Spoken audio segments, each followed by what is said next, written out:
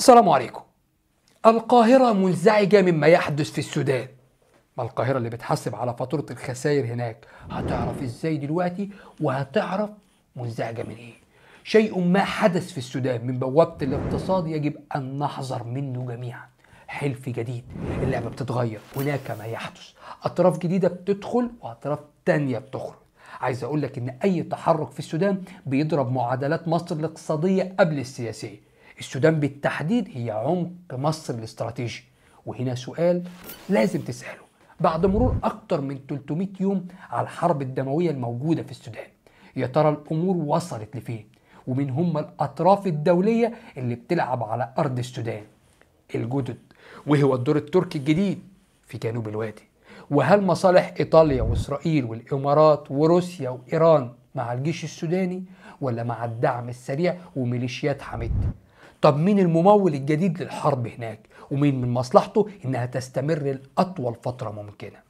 خمسين شاي عيار تقيل وجهز لحلقة عيار تقيل برضه.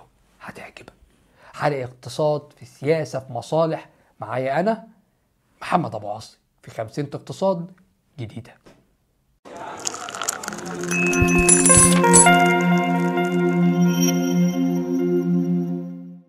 النهارده معانا راعي جديد بخمسينة اقتصاد. ناس كتير مهتمة بال business ومجال المال والأعمال. ناس كتير بقت رافضة فكرة الوظيفة وبقت بتنطلق ناحية إنها تأسس business خاص وتستهدف أسواق فيها حوافز استثمارية. منطقة الشرق الأوسط أصبحت بالفعل أهم سوق بيدي حوافز. وهنا تيجي أول خطوة في عالم ال business إنك تأسس شركة. لو بقى عايز تأسس شركة أو لو عندك شركة بالفعل وعايز تتوسع بيها سواء للإمارات أو السعودية وتستثمر هناك وتستفيد من المميزات هناك سواء الموقع الجغرافي للإمارات وتسهيلاتها أو الطفرة الاقتصادية في السعودية وتسهيلاتها هتواجهك مشكلة مهمة جدا وهي إن في السوق الإماراتي والسعودي أي حد بيحاول يأسس هناك شركة دايما بيشتكي من ضياع الوقت والفلوس في الإجراءات سواء حاول بنفسه أو مع شركة تانية. ده غير مشاكل بقى فتح الحساب بنكي لشركتك هناك وتعاقداتها والقصة دي. هنا يجي دور راعي حلقة النهارده بتاعتك وهو شركة أبش اللي وظيفتها إنها تسهل رحلة أي مستثمر عايز يأسس شركة أو يتوسع في الإمارات أو حتى السعودية. بتاخدك من A to Z. تخلص لك كل حاجة. مش كده وبس. أبشر أسست أكتر من 3000 شركة وحاصلين على أكتر من 100 تقييم خمس نجوم على جوجل. أبشر عندهم خبرات واسعة بقوانين ولوائح الأعمال هيأسسوا ليك شركة بسلاسة وسهولة وبدون أي تأخير هيكون عندك سجل تجاري وإقامة بتضمن حساب بنكي لشركتك بدون أي تضييع للوقت أو رسوم مخفية أبشر لفترة محدودة بتقدم لك استشارات مجانية بيشرحوا لك الإجراءات كاملة والخيارات المتاحة في التأسيس وبيجاوبوا على كل أسئلتك. وهسيب ليك في ال description وصف الفيديو ال link كمان أول comment. link حجز الاستشارة و link ات ال website وال social media بتاعتهم لو عايز تستعين بيهم أو تدخل تاخد فكرة. في البداية خليني أقول لحضراتكم إن الخسائر الاقتصادية للسودان من بداية الحرب لحد دلوقتي وصلت لأكثر من 120 مليار دولار. أيوه ما تستغربش رقم كبير وضخم. مع أكثر من 15 ألف قتيل وعلى الأقل 12 مليون نازح ومهجر. نصيب مصر منهم أكثر مما تتخيل أو أكثر من المعلن. ده غير توقف شبه تام للخدمات الطبية والتعليمية في كل شبر من السودان.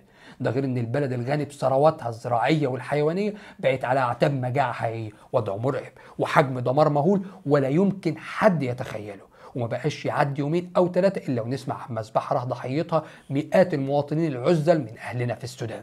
ده غير إن التراث السوداني والمتاحف المهمة اتدمرت وانتشر لصوص الآثار اللي بيتم تهريبها للخارج بسرعة البرق في ظل الانفلات الأمني. ما ده برضه business تاني.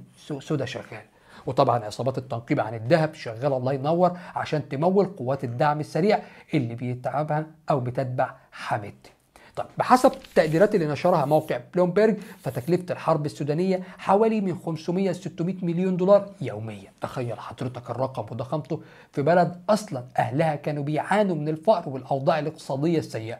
بطبيعة الحال وسط الدمار المهول ده كلنا نلاقي إن العملة السودانية فقدت أكتر من نص قيمتها وكمان الناتج المحلي السوداني تراجع ما بين 50 ل 60% واللي هو أصلا كان ناتج ضعيف جدا قبل الحرب حوالي 36 مليار دولار على ما أعتقد وكان بيعتمد بنسبة 80% على الأنشطة الزراعية اللي تقريبا بقت شبه متوقفة في السودان بأكمله.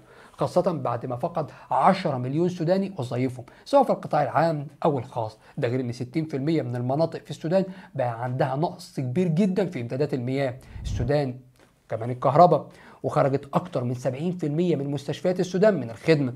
وكمان بقى في 20 مليون طالب منقطعين عن التعليم في كل مرحلة من مراحل التعليم الابتدائي لحد الجامعي بس أنا الصراحة عايز أخد حضرتك لمنظور تاني غير الخسائر الاقتصادية للسودان.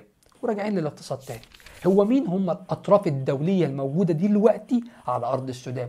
وهي مصالح كل طرف من الأطراف دي والبداية هتكون مع تركيا. وخليني أقول لك إن لو حرب السودان دي كانت حصلت في الفترة من 2000 ما بين 2024 لحد 2019 بالرجوع للخلف كنت هتلاقي تركيا واقفة في صف قوات الدعم السريع.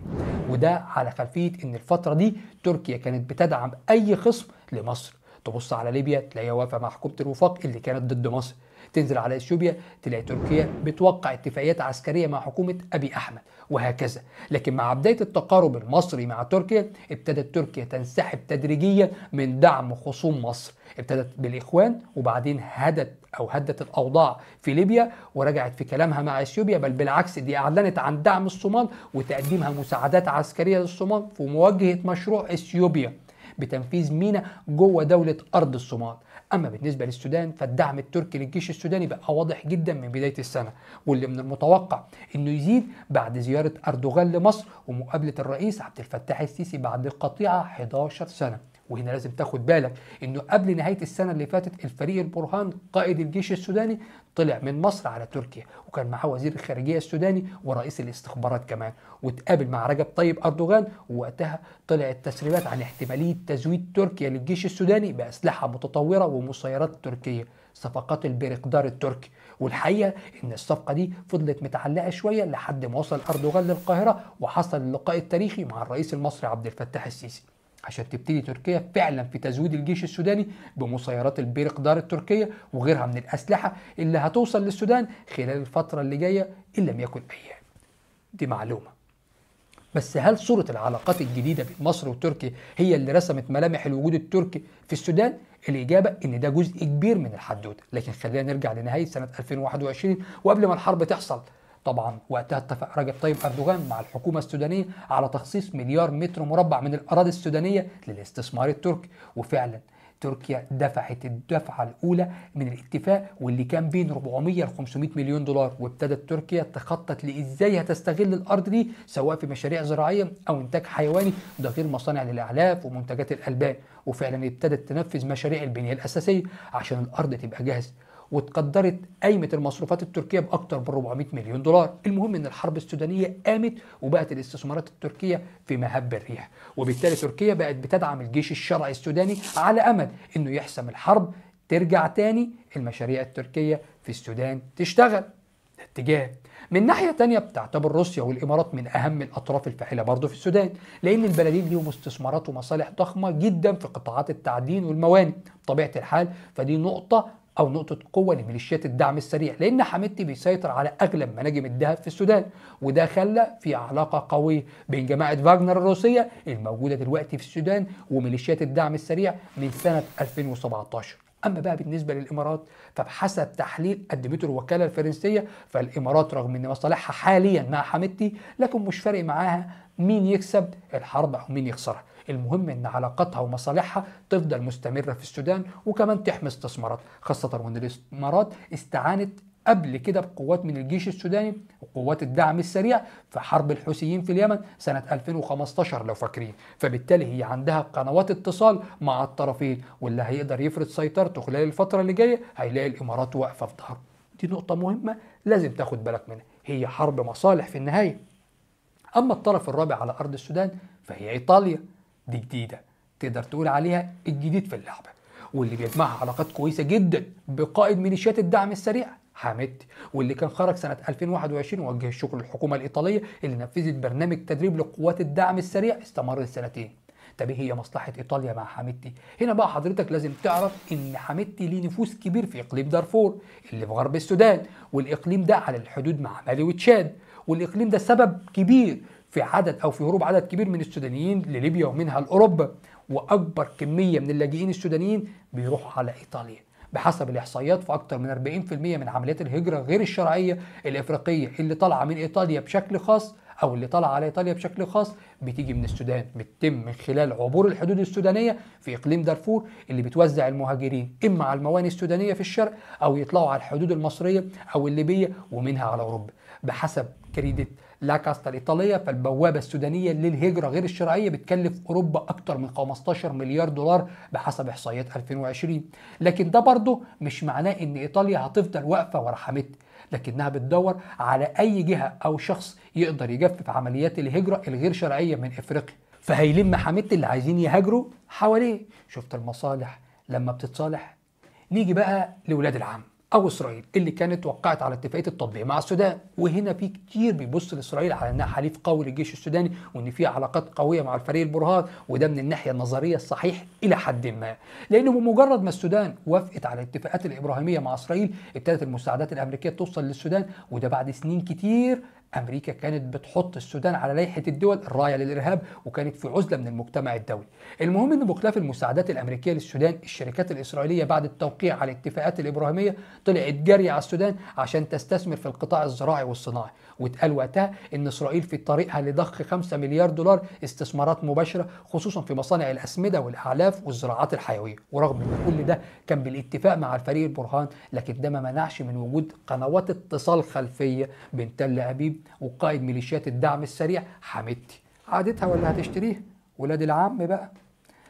لأن إسرائيل كانت عايزة تدخل في عمليات التنقيب عن الذهب والمعادن المهمة بدون ما تدخل في أي خلاف مع الروس أو الإماراتيين. وبالتالي ففكرة إن إسرائيل هتقف ورا البرهان دي فكرة ملهاش أي أرضية لأن إسرائيل مش هتقف غير ورا اللي يحقق ليها مصالحها. وخد بالك بتلعب بورقة الزراعة والصناعة في السودان بقوة. دلوقتي وبتتوسع بشراهة في استثماراتها في المية. خد بالك من النقطة دي. أما بقى بالنسبة لليبيا فهنا الكلام شكله غريب شوية. لأن الموضوع معقد شويتين. بالنسبة لخليفة حفتر فهو مدعوم من مصر والإمارات. وفي بداية الحرب لما طلع الكلام عن إنه بيدعم الدعم السريع وحميدتي اللي الإمارات بتدعمه وهنا اتوجه ليه تحذير مصري بين السطور. خلاه يرجع على طول ويصرح بإنه مع مصالح الشعب السوداني وإن ليبيا مش بتدعم أي طرف على حساب الطرف الثاني وده تقريبا نفس موقف إثيوبيا اللي مش عايزة تخسر أي من الطرفين تحسبا لإنه في حالة انتصار طرف منهم فتتحول العلاقة مع إثيوبيا لعداء بسبب دعمها للطرف الثاني خد بالك البرهان في طريقه دلوقتي لليبيا. عايز يحاصر الدعم السريع فهيعمل قعدة اليومين الجايين دول إن ما كانش عملها. أما بقى إيران فدي طرف جديد موجودة بقوة في السودان. وبتبعت مسيرات للجيش السوداني وسلاح دلوقتي. وفي وفد إيراني وصل السودان عينه على الذهب ودعم السودان وضرب مصالح ولاد العم والأمريكان هناك. مش كده وبس. ده في كارثة كبيرة بتحصل ودي اللي مخلية مصر منزعجة. إن في ميليشيات إيرانية بيتم تكوينها على خلفية الميليشيات الإيرانية في اليمن والميليشيات الإيرانية في لبنان والميليشيات الإيرانية في سوريا. فهي كده بتنتقل إنها تتواجد جنوب مصر في السودان. ناخد بالنا نيجي بقى للدور المصري في السودان. اولا كده وبسم الله الرحمن الرحيم الفريق البرهان اتخرج من الكلية الحربية المصرية. وعنده ولاء كبير للقاهرة. ده غير إن المخاوف الأمنية المشتركة بتوحد الرأي والمواقف بين مصر والجيش السوداني ده غير إن الحرب في السودان ابتدت بأسرع عدد من الجنود المصريين على إيد ميليشيات الدعم السريع. الجنود المصريين دول كانوا موجودين في السودان أصلا عشان تنفيذ تدريبات مشتركة مع الجيش السوداني وبالتالي فالموقف المصري واضح ومحسوم من البداية.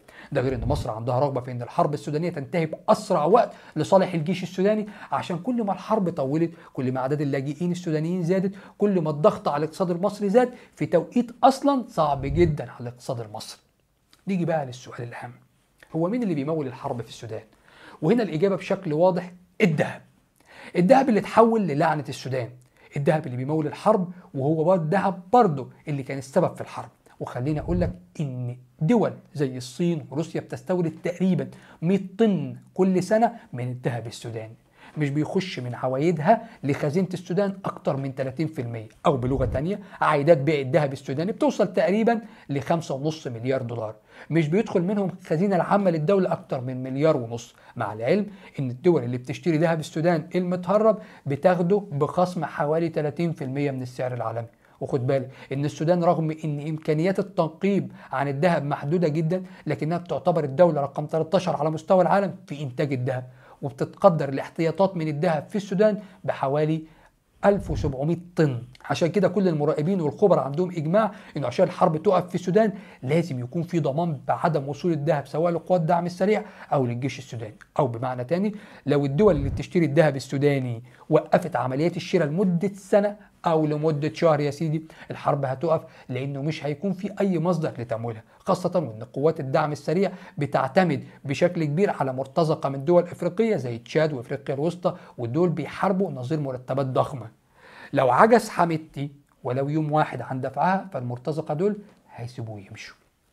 الخلاصة وقف الحرب في السودان قرار مش في إيد الأطراف المتحاربة وبس ده قرار عربي دولي ولازم دول عربية معينة تتنازل عن جزء من مكاسبها عشان توقف النزيف السوداني ومن ناحية تانية في أي سيناريو ممكن يقسم السودان هيكون ليه ضريبة وتمن هتدفعه كل الدول في العالم وخصوصا الدول العربية. وعلى رأي المثل اللي ذبح أخوك هيجي ليهم يوم ويجيبوك. أشوفكم على خير.